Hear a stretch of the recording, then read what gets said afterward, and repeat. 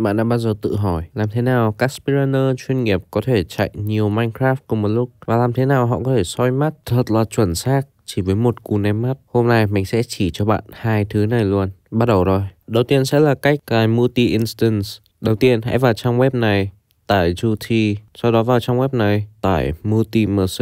Hãy giải nến MultiMC ra và MultiMC vào Settings và Java để số RAM mà bạn có và bạn có thể chơi được. Để biết số RAM của bạn là bao nhiêu và có chơi đồng multi không, hãy vào Task Manager và phần này và sẽ thấy Logical Processors. Hãy chia hai con số này và nó là bao nhiêu thì đó là số instance bạn có thể chơi được. Một điều nữa là hãy vào About this PC xem số RAM của mình là bao nhiêu. Nếu nó dưới 16 thì mình khuyên bạn không nên chơi multi instance.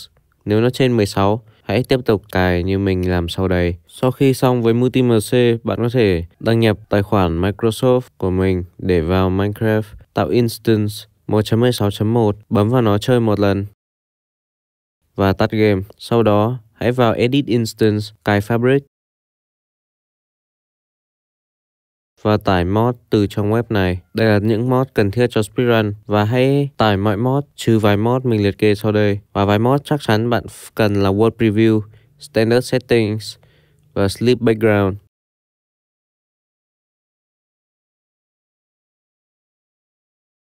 Sau khi xong, hãy bật game một lần nữa. Vào vào settings, vào thấy con mắt này không? Hãy bấm vào con mắt. Sau đó hãy chỉnh timer như màu và vị trí, độ lớn, kích thước mà bạn muốn. Xong thì hãy bấm Use Global Options trong tiếng Anh và trong tiếng Việt là gì đó mình cũng không nhớ. Nhưng hãy bấm vào nó. Nhờ sẽ rất quan trọng. Sau đó thoát game vào config của instance bạn vừa tạo. Ở đây mình có một cái file sleep background ở dưới phần mô tả. Hãy tải nó và kéo nó vào đây. Thay thế file đã có sẵn. Copy file standard setting và paste nó vào một nơi bạn có thể quay lại sau này. Sau khi paste ra chỗ đó, hãy bấm Shift và chuột phải để hiện phần copy as path. Copy as path và sau đó quay lại cái standard setting gốc, mở lên, xóa mọi thứ đi và paste. Hãy nhớ là bỏ dấu hai móc ở đầu và cuối của cái dòng này, lưu file và tắt đi. Về file standard setting bạn đã paste, hãy bấm vào nó, kéo xuống dưới, có vài phần mình khuyên bạn nên để phần sprinting thành true.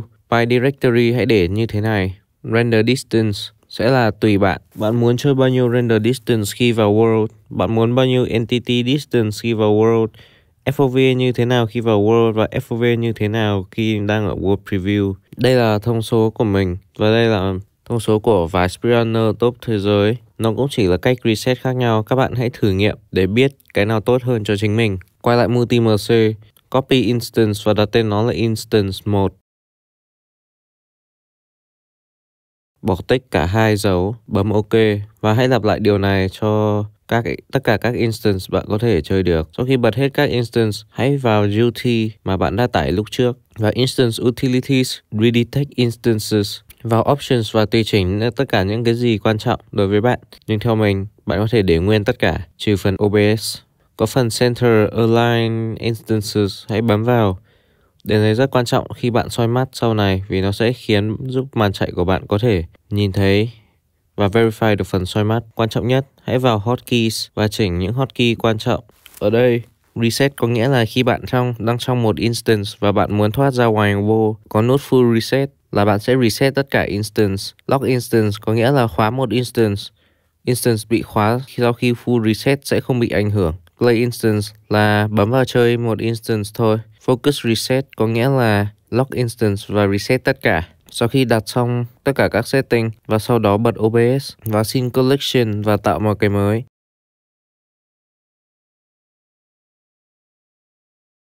Hãy vào phần Tools, Scripts, chọn Duty ở phần Documents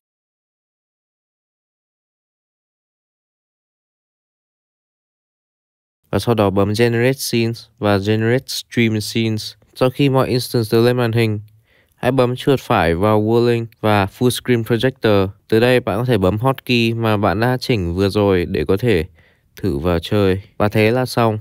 Đó là cách bạn chơi multi-instance. Và sau đây là cách soi mắt both eye với độ chính xác lên đến 95% chỉ với một mắt ném. Đầu tiên, hãy vào OBS và tạo cho mình một scene mới tên là Mac. Sau khi xong, Hãy bấm dấu cộng thêm sin và chọn Duty. Sau đó hãy vào trang web này. Ở đây có vài thông số bạn cần điền vào. Đầu tiên là DPI chuột của bạn. Bạn thể tìm nó trong phần mềm chuột Minecraft Settings Sensitivity. Bạn hãy vào Standard Settings. Tiếp theo là Windows Settings Mouse. Nó sẽ tạo ra cho bạn vài thông số. Ở đây, bạn hãy chỉnh Windows Settings DPI cũng như Standard Settings của Mouse Sensitivity trong game y hệt như thế này. Tiếp theo, mình chắc hẳn các bạn speedrun đều dùng Ninja Brainbot để soi mắt. Nếu chưa tải thì hãy tải dưới phần mô tả. Vào Settings, bấm vào Detail có có phần tăng 0,01 hoặc giảm 0,01 độ.